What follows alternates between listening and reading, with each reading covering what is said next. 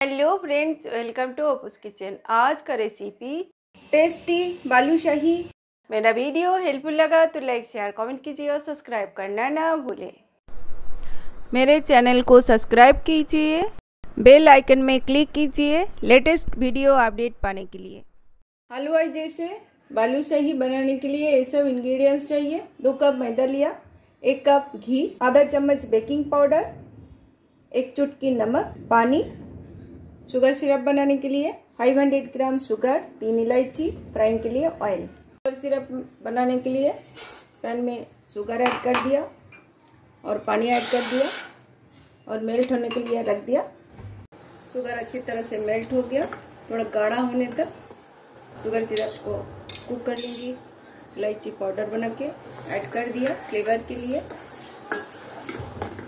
और पाँच minute boil कर लेती हूँ मैदा में एक चुटकी नमक, बेकिंग पाउडर और जो घी लिया, वो ऐड कर देती हूँ। और अच्छी तरह से मिक्स कर लेती हूँ। अच्छी तरह से मिक्स करके हो गया। अभी पानी ऐड करके आटा गूंद के रेडी नहीं करूँगी ओनली बाइंडिंग करूँगी। बाइंडिंग करके सॉफ्ट बना लूँगी। सॉफ्ट डो के जैसा समेट के एक साथ कर लूँगी। एक साथ अच्छी तरह से बाइंडिंग कर लिया। गूंदने का कुछ ज़रूरत नहीं है, ऐसे एक साथ बाइंडिंग कर लेने का। और टेन मिनट साइड में छोड़ देती हूँ रेस्ट होने के लिए। शुगर सिरप बन के रेडी हो गया। एक तरह का चटनी बनाया। और गैस बंद करके साइड में रख देती हूँ। डो अच्छी तरह से सेट हो गया। बहुत ही अच्छी तरह से लेयर्स निकल के आया। तो इसको नीट करने का ज़रूरत नहीं है, ऐसे हाथों में गोल गोल घुमाते जाने का और नीचे तक तो होल करने का, ऐसे जैसे डोनट का शेप होता है ना, ऐसे ऐसे सारे बना के तैयार कर लेती हूँ। सारे बालू सही बना के तैयार कर लिया। चलते हैं फ्राइंग के लिए। ऑयल गर्म होने के लिए रख दिया था। हल्का गर्म होने से बालू सही ऐड कर देने का। ज़्यादा हॉट ऑयल में फ्राई करेंगे तो अंदर तक अच्छा फ्राई नहीं होता इसके लिए। लो फ्लेम में बालू सही को फ्राई करने का। एक साइड फ्राई होने के बाद ऑयल का ऊपर आ जाएगा। तभी फ्लिप करूँगी। बालू साइड एक साइड अच्छी तरह से सीख गया।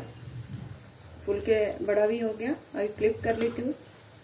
दोनों साइड कलर चेंज होने तक फ्राई कर लूँगी। पलट पलट के बहुत ही अच्छा कलर आया।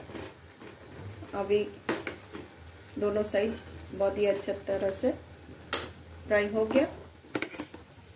अभी निकल के रखती हूँ।